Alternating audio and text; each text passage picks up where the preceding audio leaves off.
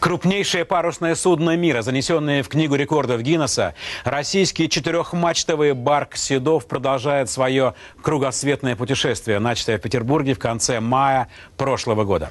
Обойдя в Южной Америке роковой мыс Горн, 150 юных моряков-курсантов из Мурманска, Астрахани и Нижнего Новгорода под командованием капитана Зорченко двигаются сейчас в сторону французской Полинезии.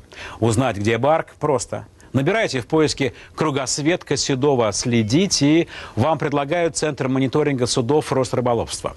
Переход по ссылке долговато загружается, но в итоге видите точку, где находятся наши герои. Героями такие мальчишки были бы в любой стране мира.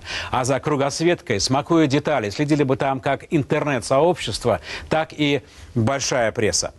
Под парусами площадью 3000 квадратных метров. Часть маршрута прошла и наша съемочная группа. Репортаж Александра Сладкова. Барк Седов – самый большой учебный парусник на свете. На борту 200 человек. Меняющиеся группы морских курсантов из России, постоянный экипаж, опытные учителя, в прошлом военные или гражданские моряки.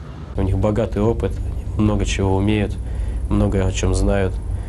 Просто интересно вечером посидеть, послушать рассказы старших боцманов, то есть как они ходили туда, что случилось там, как было тогда. То есть это для нас э, большие авторитеты. Николай Козлов, морской стаж 40 лет, старший боцман и архивариус. Его документы, подлинники, 21 год, спуск парусника на воду.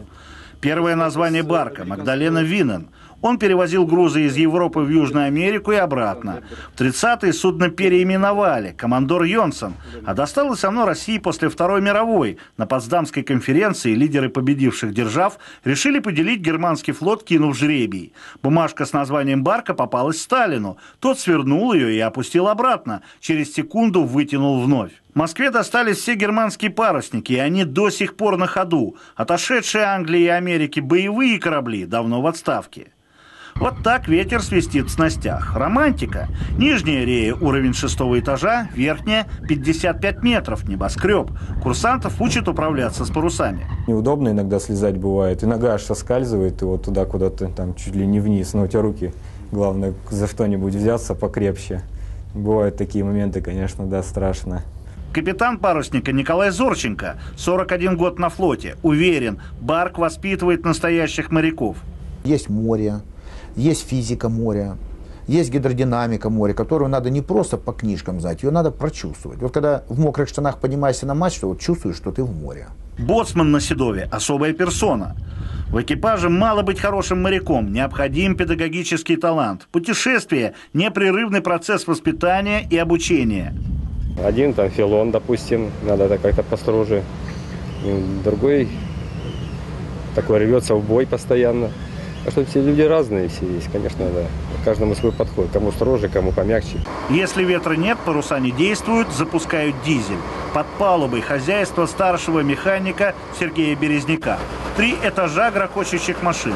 Здесь же опреснители. Седов потребляет 18 тонн очищенной воды в сутки. Александр Ветчиненко до седого отношения к камбузу не имел. Рыболовецкий сейнер, кровельщик на суше, неожиданный поворот судьбы, парусник, пекарня. На седове, кроме остальных продуктов, съедают 80 батонов хлеба каждый день. Как говорится, у китайцев рис, у русских хлеб. Вот.